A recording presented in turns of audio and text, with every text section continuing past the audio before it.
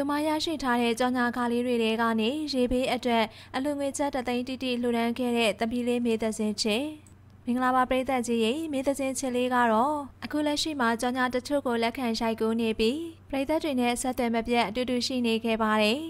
မေသက်စင်ချစ်လေးကလုပ်ငန်းရှင်တွေရဲ့မျက်စိကျခြင်းကိုခံနေရပြီးတော့ကြောင်ညာတွေဇက်တိုက်ရိုက်ကူးနေရသလိုသူမရိုက်ကူးခဲ့သမျှကြောင်ညာတိုင်းကလည်းပေါက်တာကြောင့်ငကိုကထက်တောင်မှပို့ပြီးတော့နာမည်ကြီးလာခဲ့ပါတယ် မိသဇင်ချစ်လေးကိုချစ်ကြတဲ့ပရိသတ်တွေကများပြားလွန်းလို့အခုစက်တင်ဘာလ15ရက်နေ့မှာပရိသတ်တွေနဲ့တွေ့ဆုံဖို့အတွက်ဖမ်မီတင်ပွဲလေးကိုစီစဉ်ခဲ့ပေမယ့်ဂျားရက်တွေမှာရေကြီးနှမြုပ်မှုတွေဖြစ်ပေါ်ခဲ့တာကြောင့်ပြည်သူတွေအားလုံးကရေဘေးကယ်ဆယ်ရေးဘက်ကိုအားဆိုင်နေရတာကြောင့်မိသဇင်ချစ်လေးရဲ့ပွဲကိုမလာရောက်နိုင်ကြတာလည်းတွေ့ရပါတယ်။ဒါပေမဲ့မိသဇင်ချစ်ကတော့သူမနဲ့အတူလာတွေ့တဲ့ပရိသတ်တွေကိုဖော်ရည်နှွေးထွေးစွာဆက်ဆံခဲ့ပြီးပရိသတ်တွေနဲ့ပျော်ရွှင်စရာအချိန်လေးတွေကိုဖန်တီးခဲ့တာလည်းဖြစ်ပါတယ်။ မိသချင်းချစ်လေးကဆီယာမလေးစိန်ဆန်းဖြူနဲ့အတူဖမ်မီတင်ပွဲလေးကိုအောင်မြင်စွာကျင်းပပြီးတဲ့နောက်ရရှိလာခဲ့တဲ့အနုပညာချေလေးနဲ့ရေဘေးအတွက်လှူဒန်းခဲ့တာပဲဖြစ်ပါတယ်။မိသချင်းချစ်က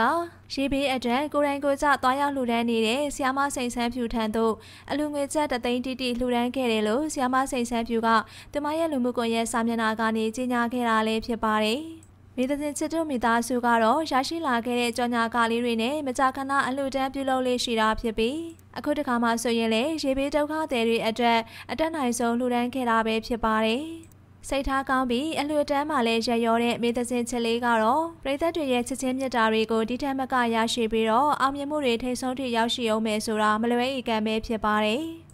ပရိသတ်ကြီးအနေနဲ့လည်းသူမရရှိတဲ့အမှုပညာကြီးနည်းနည်းလေးတွေကတတ်နိုင်သလောက်အလူငွေလေးထည့်ခဲ့တဲ့မိသချင်းချစ်ရဲ့ရေးပေးအလူအတွက်တာရုခေါ်ဆိုပေးခဲ့ကြပါအောင်ရှင်။ဟုတ်လား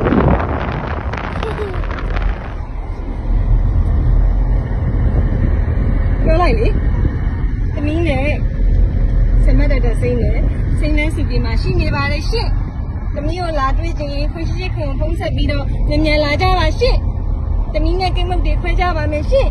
နော်သူမပြောတော့ကျုပ်ကိုပြောလိုက်ရ